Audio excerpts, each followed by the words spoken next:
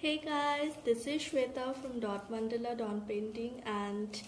today we are going to learn this beautiful art base which I have done on a cardboard box and I'm going to show you